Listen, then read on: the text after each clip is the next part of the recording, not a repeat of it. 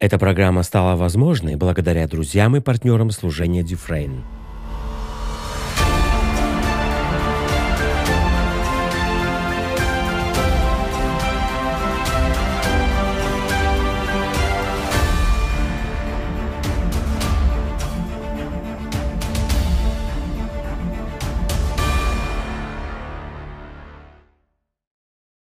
Мы так рады, что вы с нами сегодня на программе «Иисус Целитель». И Он на самом деле Целитель.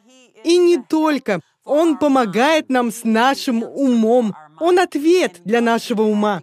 Бог повел нас учить на тему ума. И я в восторге от этого, потому что нам всем нужно научиться умело, искусно хранить здравый ум. Аминь. В качестве основного места Писания мы используем 2 Тимофею 1.7. «Ибо Бог не дал нам духа страха, но Он дал нам духа силы и любви и здравого ума. Это принадлежит вам во Христе. Здравый ум – часть вашего наследства, и вам нужно умело распознавать, что враждебно здравому уму потому что ум — врата духа. Предположим, вы сидите в церкви, и пастор проповедует что-то, а вы мысленно говорите, «Я в это не верю». Тогда то, что он проповедует, не может проникнуть в ваш дух, потому что ум отвергает это. Так нам нужно поступать с мыслями врага. Когда он что-то предлагает, ответьте «я в это не верю», и это не сможет обосноваться в вас. Аминь. Мы говорили о том, что ум — это основное поле битвы дьявола. Он наносит удары на арене ума, потому что только там он искусен. А вера находится на арене духа. Она обитает в вашем духе. И дьявол хочет увести вас от веры, а потому пытается заманить вас на арену ума. Дьявол знает, когда вы подключены к вере, ему не победить. Ему никак не взять верх. Аминь. Что говорит Слово? «Сия есть победа, победившая мир, вера наша». То есть наша победа ждет проявления нашей веры. И когда враг хочет нас обокрасть, ему нужно увести нас от веры. Поэтому он старается затянуть нас на арену ума, создавая суматоху, сумятицу в мыслях. И нам нужно научиться противостоять этому, отвергать это, запрещать это в своей жизни. Аминь. Если дьяволу удастся удержать нас на арене ума, он сможет нас побить, потому что вера не обитает в уме, она обитает в нашем духе. Однако ум должен быть приведен в согласие со Словом, в согласие с верой, которая в духе, чтобы вера могла беспрепятственно течь из духа. При неправильном мышлении, хотя у нас в сердце есть вера, она не сможет течь так, как должна, потому что ум, спорящий с ней, приводящий против нее доводы, не позволяющий ей течь, остановит поток веры. Обновляя же ум Словом Божьим, мы приводим свои мысли в согласие со Словом. Тогда мысли соглашаются с верой, которая в духе, и она может течь беспрепятственно. Аминь. Иисус научил нас, что делать, когда приходят неправильные мысли, когда в нашем уме звучит голос врага, обстоятельств, симптомов, любого противостояния, атакующего ум. В четвертой главе Луки во время искушения в пустыне Иисус продемонстрировал нам свою политику поведения в отношении дьявола. И вот в чем она заключалась. Написано. Иисус показал нам пример, как следует отвечать врагу. Отвечать на неправильные мысли. Невозможно перехитрить неправильные мысли. Невозможно одолеть неправильные мысли при помощи мыслей. С мыслями нужно бороться при помощи слова, отвечая им словом. Враг хочет захватить умственную жизнь. Как? Пытаясь внедрить неправильные мысли. Иисус отнял силы у начальств и властей. Единственная сила, оставшаяся у дьявола, это сила убеждения. Он просто предлагает что-то, но он не может это воплотить, не добившись вашего согласия. Аминь. Пару эпизодов назад я уже цитировала полюбившиеся мне слова Глории Копленд. Дьявол не может делать с вами все, что ему захочется и когда захочется. Если бы он мог, почему бы ему просто не сделать это? Зачем ему сначала обманывать вас? Видите ли, неправильное мышление пытается обманом увести вас от веры, которая в сердце, затягивая вас на арену ума. Враг хочет обманом увести вас от слова. Например, дьявол угрожает кому-то, ты потеряешь свой дом. Если он способен исполнить эту угрозу, почему бы ему просто это не сделать? Зачем ему вообще обсуждать это с вами? Зачем он пытается внедрить эту мысль? Потому что он не может ничего сделать, не добившись вашего согласия. Так что он пытается внедрить свои мысли, чтобы уже вы наделили их своей властью.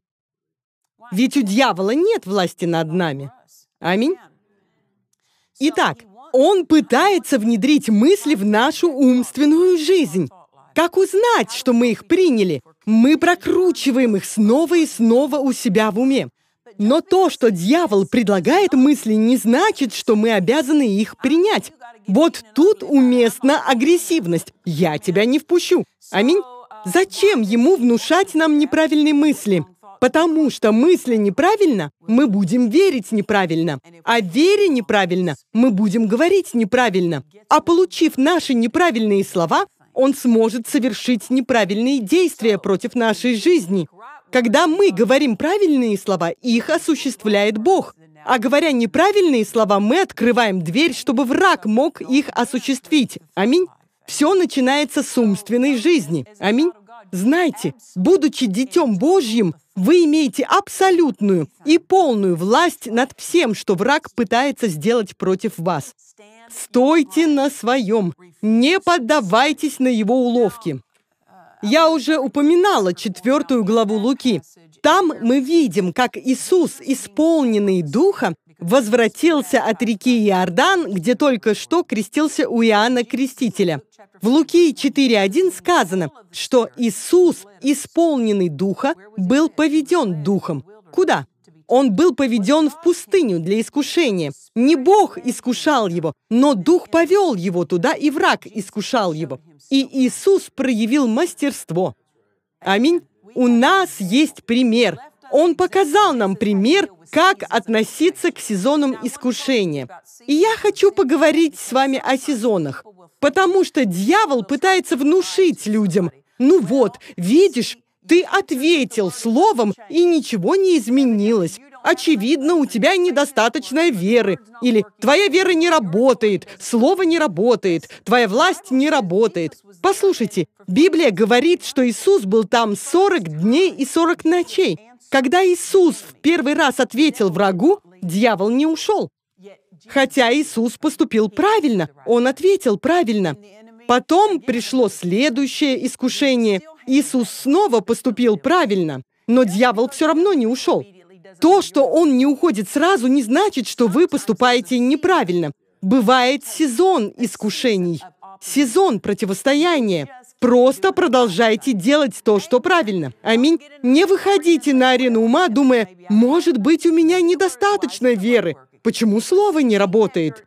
Видите ли, мы оплошно измеряем все течением времени. Послушайте, вере не знаком календарь. Вере не знакомы часы, ей знакомо слово. Аминь. Это земной человек знаком с календарем и часами и неосмотрительно измеряет свою победу течением времени. Это оплошность. Это оплошность, потому что вера укоренена в слове.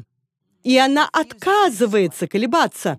И в первый же раз, когда дьявол искушал его, Иисус поступил правильно. Он все сделал правильно. Но заметьте, он не сразу вышел из того сезона. Так что как бы долго ни длился сезон, просто каждый день продолжайте отвечать правильно, говорить правильно, мыслить правильно. Продолжайте питаться словом, держаться за слово. И не позволяйте часам или календарю поколебать вашу веру. Что сказано в Евреям? Что мы верой и долготерпением наследуем обетование. Слово «долготерпение» относится к течению времени. Заметьте, верой и долготерпением мы наследуем обетование. Не только верой, верой и долготерпением. Мне понравилось кое-что еще, что сестра Глория Копланд сказала много лет назад, и я взяла это на заметку. Без терпения вера сдастся. Терпение наделяет веру стойкостью. Она не остановится и переживет любое противостояние, потому что вы терпеливы. Аминь. Верой и долготерпением. Иисус противостоял, Он отвечал дьяволу в пустыне искушения. И дьявол не ушел сразу, но Иисус был терпелив. Аминь. Он не начал сомневаться в Боге, в истинности Слова, в собственной вере, в том, что он Сын Божий, потому что дьявол постоянно говорил, если ты Сын Божий. Он не сомневался в этом только потому, что дьявол не ушел, как только он ему ответил. Настоящая умелая вера не ждет, пока уйдет дьявол, чтобы, наконец, обрести покой. Настоящая вера спокойно прямо пред лицом противостояния, испытаний. Это победа. Это победа. Именно так поступил Иисус. Он просто стоял на своем. И вот что я хочу, чтобы вы поняли.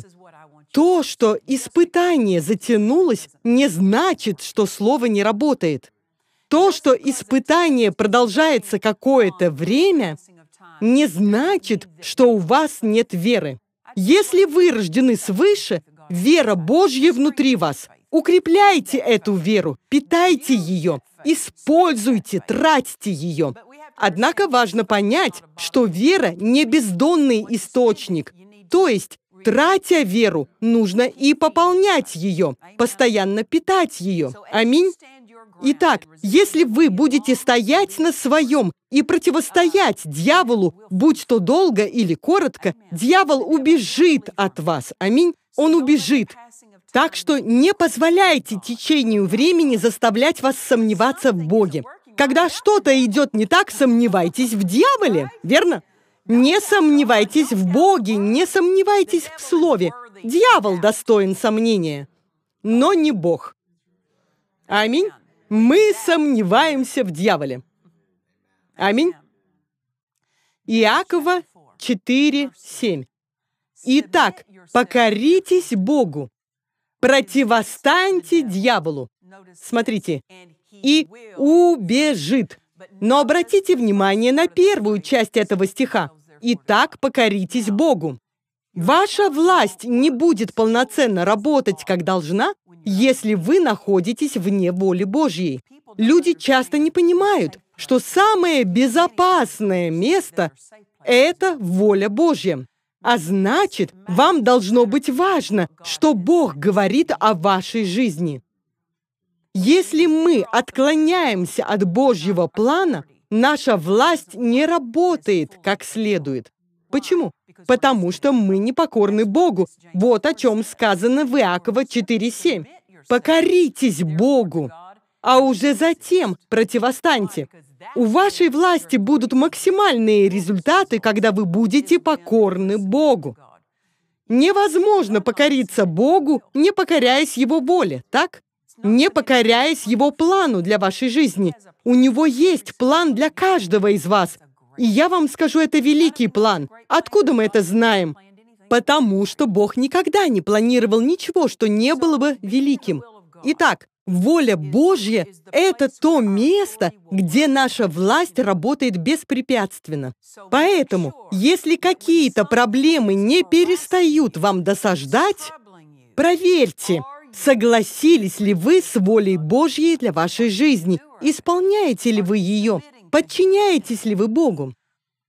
Покоритесь Богу. Посмотрите, Бог не будет вас покорять. Вам самим нужно покориться. Это не Божья задача. Это наше дело — покориться, привести себя в согласие, подчиниться лидерству и руководству Божьего плана и Его воли для нашей жизни.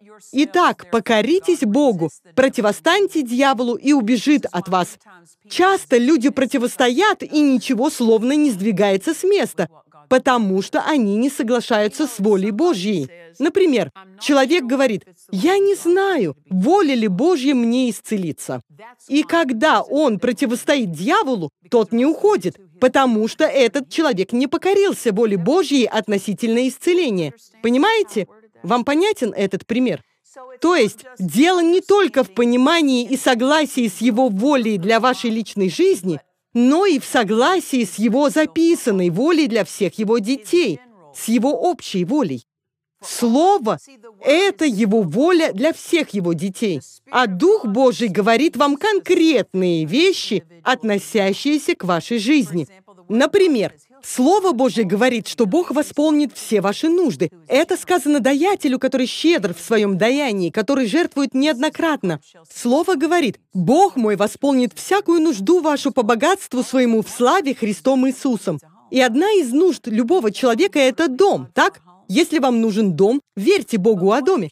Но что, если вы не верите, что Бог восполняет все ваши нужды? Вы думаете, я не уверен, что могу позволить себе дом, что Бог даст мне дом.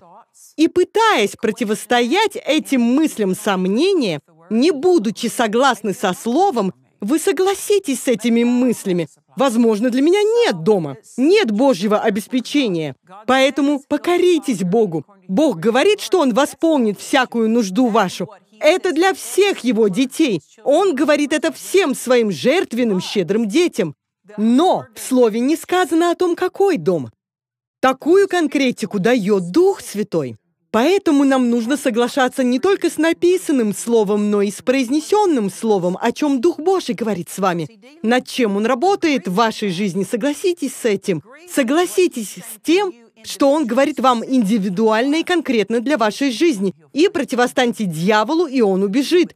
Согласитесь с написанным словом, согласитесь с тем, что Дух Божий говорит конкретно вам, и тогда противостаньте. Здесь не сказано «противостаньте дьяволу и убежит». Здесь сказано «покоритесь Богу, противостаньте дьяволу». Это взаимосвязанные вещи. Вот почему люди говорят, «Пастор Нэнси, я отвечаю тревожным мыслям, страху, я отвечаю на все угрозы, которыми враг атакует мой ум, но облегчение не приходит».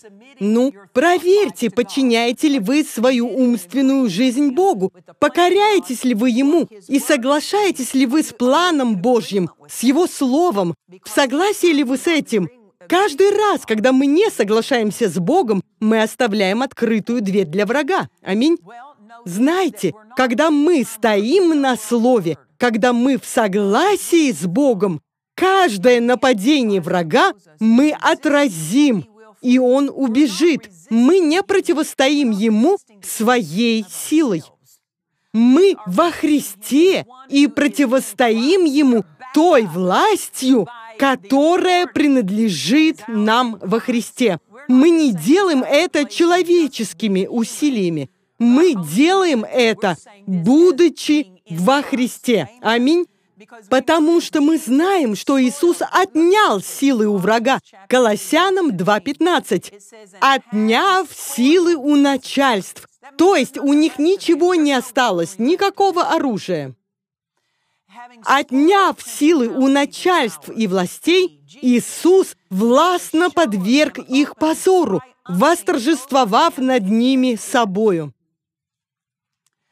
В других переводах этого стиха сказано, что дьявол и все злые духи были полностью поражены. Они были сведены на нет, превращены в ничто. От них ничего не осталось. Аминь. А в предыдущей главе этого же послания, в Колоссянам 1.13 сказано, «Избавившего нас». Посмотрите, это прошедшее время. Бог уже избавил нас. Мы не пытаемся избавиться.